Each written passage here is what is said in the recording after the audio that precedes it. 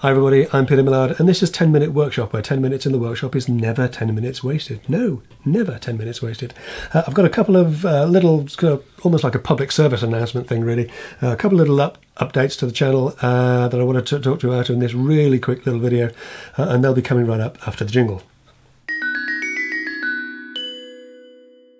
Just a real quick, uh, almost like a public service announcement about the channel today. I will be quick because we've got a bit of a mini heat wave going on here in the UK at the minute.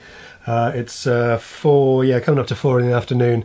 Uh, my backyard is showing temperatures of 34 degrees right now in the sunshine. That's uh, poor, about 92, 93, something like that. So it is hot, hot, hot, hot, hot. Um, been getting some great comments and questions in the comment sections beneath all the videos. Um, a couple of questions come up sort of fairly regularly, and I just wanted to double check. And please, you know, I don't want to teach Granny to to suck eggs here, um, but beneath each of the videos, uh, there's a, a, little description where it says published on blah blah blah blah, and there's a little thing there that says show more. If you hit the show more, um, you get a lot more information, a lot more data. Uh, there's uh, more of a description about the video. There's, you know, whether it's part one of three or two or whatever else, and if it's a multi-parter, there are links to the other parts. Um, there's also a used featured in this video uh, list, which gives you all the gear and links to all the pieces of equipment that I've used. And usually at the bottom there's a photo video gear that stays fairly constant, not, not much changes uh, with that. Um, there used to be in the earlier videos a complete list of all the bits and pieces that I that I'd used, but that got to be sort of way, way, way too complicated, way too unwieldy. In fact, there is a, a, a five thousand character limit that you can put in the show in, in, the video description, and I've I've been hitting those. So um, what I've done uh, now is I've actually set up a, a, a companion website, all the W's, 10minuteworkshop.com, and there's a link there in the description as well uh, to that site. And also, we're just going to go back a little bit. If YouTube gets there, yep. Um, there's also a link uh, in the by the channel art at the top of the screen here. Um, just to the, there's one for Twitter, there's one for Google Plus, and just at the end there, there's one for the website. And you've hit that, you go straight to the website.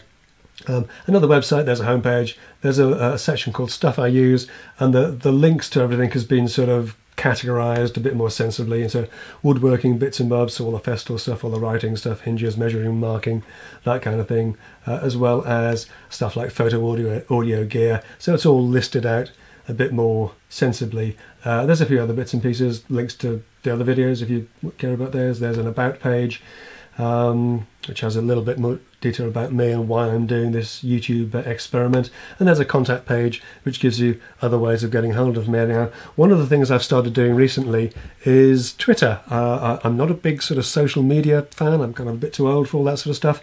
Um, but Twitter is fantastic. Uh, there is a new Twitter account at 10 Minute Shop. Thank you, Twitter, for the arbitrary limit on number of characters you can have.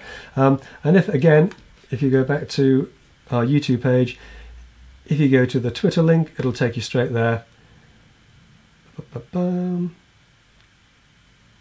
And you'll be able to contact me directly um, through Twitter. One of the great things that you can do with Twitter is you can actually show me pictures, which is something you can't do in the YouTube comments section. And in fact, uh, subscriber Kev, uh, don't have any, any more of a, a, name for him than that, but Kev um, got hold of me over the weekend and he said, after watching you on YouTube, I had to go at making a simple cabinet and he sent me a picture of it. Look, here we go.